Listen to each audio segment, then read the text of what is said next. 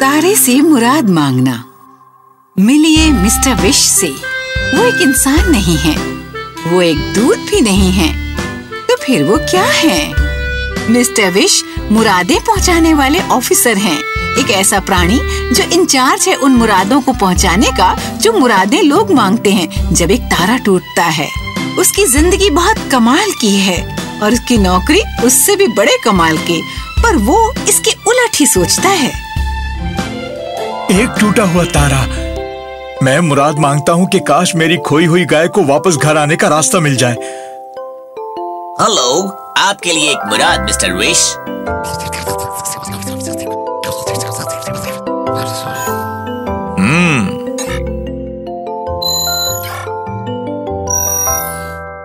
ओह, मौली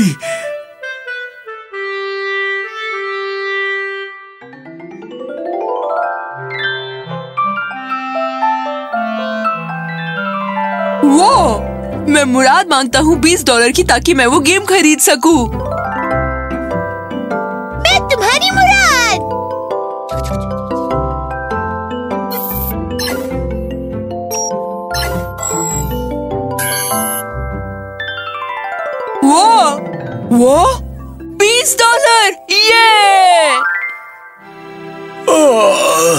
mister wish को नहीं पता पर उसकी साधारण सी ज़िंदगी में एक असाधारण सा मोड़ आने वाला है और बहुत जल्दी ही हालात बदलने वाले हैं। बहुत ही जल्दी। ये वेन है। वेन की एक समस्या है। ओह नहीं।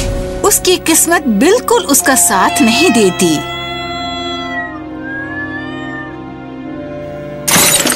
ये क्या बुरी बिल्ली? इतने सुंदर फूल हैं। ओ नहीं, भागो। अब देखिए, वेन की किस्मत हमेशा खराब रही है। इसलिए वो बहुत अंतर्मुखी हो गया है। कोई दोस्त नहीं, कोई मेल जोल नहीं, बस वो और उसकी वीडियो गेम अब उसी शहर में एक बहुत ही सुंदर नवयुवती रहती थी, जिसका नाम था डेबरा और अगर वेन की किस्मत उत्तरी ध्रुव रहती तो उसकी रहती दक्षिणी ध्रुव। वाह फिर से खिली खिली धूप निकली है। मैं तो मैं तो इस तक पहुँच ही नहीं सकता। हे नन्हे बच्चे चलो मैं तुम्हारी मदद करूँ। वाओ!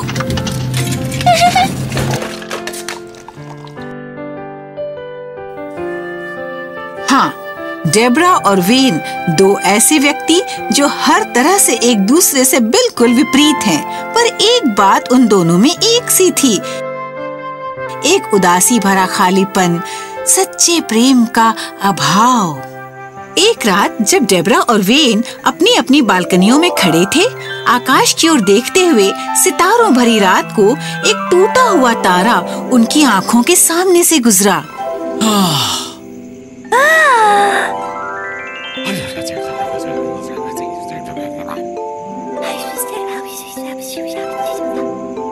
दोनों ने अपनी अपनी मुराद मांगी और ये सब ठीक ठाक होता।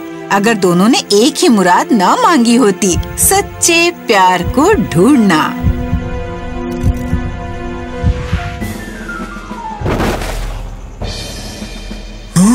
आपातकाल। आपातकाल। हाँ पिछले कुछ सौ सालों में ऐसा कभी नहीं हुआ कि दो या दो से ज़्यादा लोगों ने एक ही तारे पर एक ही समय एक ही मुराद मांगी हो। ये विसंगति थी जिसके द्वारा तारा अपनी चमक खो बैठा। बिना चमक के तारे की मुराद मिस्टर विश पूरी करने में असमर्थ था, पर मुरादें मांगी गई थी और ये कि उन्हें पूरा होना था, क्योंकि ये ही नियम है। अब मिस्टर विश को उस विसंगति की ओर अपना रास्ता खोजना था, वरना उसकी नौकरी चली जाती। वो तारा, उसकी चमक खो गई है। मुझे उसकी चमक को बहाल करना होगा और उसे आसमान में लगाना होगा, पर उसके लिए पहले मुराद पूरी की जानी चाहिए, तभी जाकर तारा दोबारा आकाश पर टिक पाएगा। पर फिर भी एक बिना चमक के तारे में कोई जादू नहीं होता। ओह और बिना जादू के मैं मुराद कैसे पूरी करूँगा? और उसी क्षण मिस्टर विश को एक तरकीब सूझी। पर ये एक आसान तरकीब नहीं थी। इसके लिए ज़रूरत थी कि वो नीचे धरती पर आए। मुझे ये जोखिम उठाना पड़ेगा। केवल एक ही तरीका है उन दोनों की मुराद पूरी करने का और तारे को ऊपर वापस ले जाने के लिए मुझे इन दोनों की मुरादों को एक साथ लाना होगा। हाँ उन्हें एक दूसरे से प्रेम करने की ओर बढ़ाना होगा। ये तो बहुत आसान है। प्रिय धरती आ रहा हूँ मैं!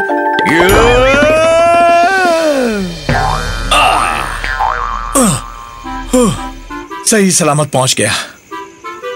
हाँ।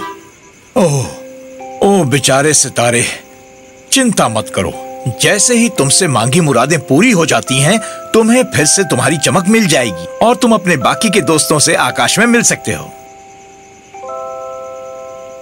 अब, मिस्टर वेन और मिस डेबरा, तुम दोनों आखिर हो कहाँ? हम्म पकड़ लिया। मिस्टर विश ने वेन और डेबरा के बारे में पूरा होमवर्क कर लिया था। डेबरा एक फूलों की दुकान पर काम कर रही थी और वेन को सुबह उसके पास से गुजरना था। मिस्टर विश को बस यही करना था कि उन दोनों को मिलवा दें। और उसे यकीन था कि उन दोनों को प्रेम हो जाएगा। बहुत आत्मविश्वास था। है ना? वो इसलिए कि मिस्टर विश एक सच्चा विश्वासी था कि विपरीत आकर्षित करते हैं। दस में से नौ बार। और उसने उम्मीद के साथ फूलों की दुकान के सामने इंतज़ार किया। लो वो आ रहा है। समय आ गया है। जादू की सुगंध इस्तेमाल करने का।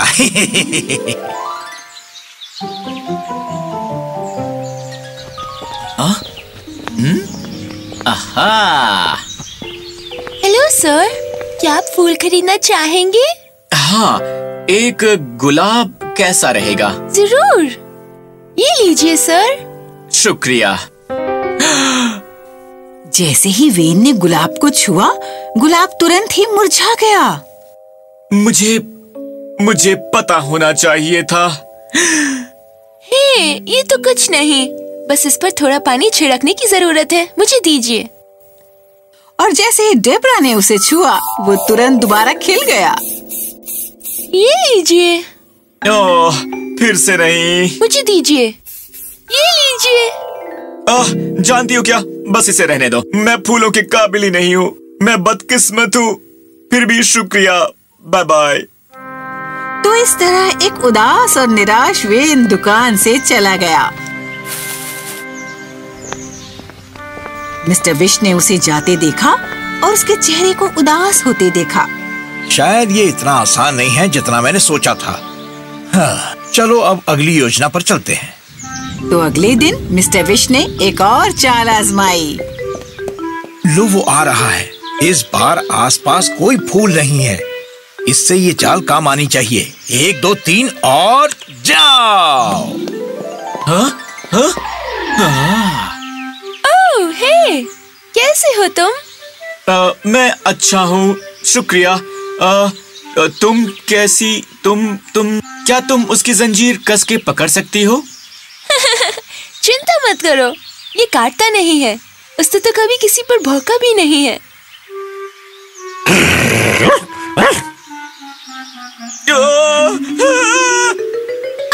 टॉमी, नहीं वापस आओ।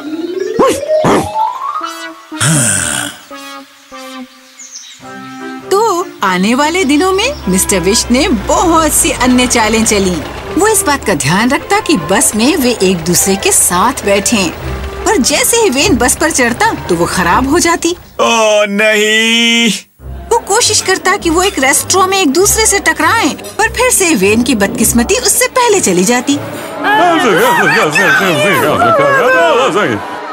ओ नहीं। ओ यार। सात दिन तक बिना रुके प्रयास करने के अंत में मिस्टर विश ने हार मान ली। क्योंकि यदि आठवें दिन के सूर्योदय से पहले तारे को आसमान पर नहीं रख दिया जाता तो वह आकाश में अपनी जगह गंवा देता और इसी के साथ मिस्टर विश की नौकरी भी चली जाती। हाँ, मैं हार गया नन्हे तारे। मुझे क्षमा करना मैं दोबारा तुम्हें चमका नहीं सका। मेरे ख्याल से हम दोनों के लिए ये बात अब पूरी तरह खत्म हो गई है। एक आँसू की बूंद मिस्टर विश की आँखों से गिरी। जब उसने ऊपर रात के आसमान को देखा वहाँ ही कहीं उसका छोटा सा ऑफ़िस भी था। वो उसे बहुत याद करेगा। वो जान गया कि उसका काम कितना कमाल का था और वो कितना खुशकिस्मत था कि वो लोगों को उनकी मुरादें देता था। क्या? एक टूटा हुआ तारा? मिस्टर विश की आँखें उम्मीद से भर गईं जब उसने आसमान पर एक टूटते हुए तारे को देखा। और ठीक उसी समय उस शाम को उसके जीवन में पहली बार मिस्टर विश ने अपनी आँखें बंद की और उस तारे पर एक मुराद मांगी। प्रिय तारे मैं तुमसे मुराद माँगता हूँ कि ये छोटा सा तारा अपने हक की जगह पा सके आकाश में। और जैसे ही उसने ये कहा ओह हाय! अम, हाय। इस बार मेरा कुत्ता मेरे साथ नहीं है। तो क्या मैं अ, हाँ क्यों नहीं? क्या ये अजीब नहीं है कि हम तकरीबन हर दिन एक दूसरे से टकरा रहे हैं?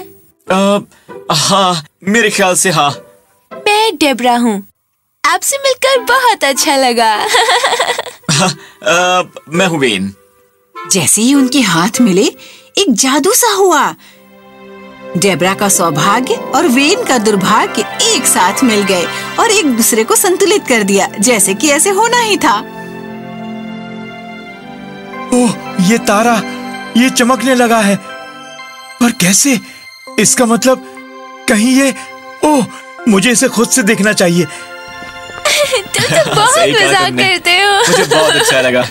अच्छा। प्लीज़ और मत हंसाओ। मिस्टर विश ने देखा जब डेबरा और वेन एक दूसरे का हाथ पकड़कर सड़क पर चल रहे थे हँसते और खिलखिलाते हुए। एक मधुर मुस्कान उसके चेहरे पर फैल गई। हमने ये कर दिखाया नन्हे तारे। हमने ये कर दिखाया। अब चलो चलो घर चले। तो मिस्टर विश वापस आ गया इस बादल वाले ऑफ़िस में। वो खुश था और प्रसन्न था कि उसने ये संकट टाल दिया। तारे को वापस ऊपर आसमान पर लगा दिया गया और मिस्टर विश अपने काम पर उसी हसमुख तरीके से काम करता रहा। और जहाँ तक वेन और डेबरा का सवाल है, उन्हें एक दूसरे से सच्चा प्रेम हो गया। जब उनका तारा खुशी खुशी उन्हें ऊपर से देखता, मुस्कुराता और टिमटिमाता हुआ। तो अगली बार जब तुम कोई तारा देखो और उसे देखकर कोई मुराद मांगो, ये जान लो कि मिस्टर विश अपने काम पर लगा है इसे तुम तक पहुँचाने के लिए।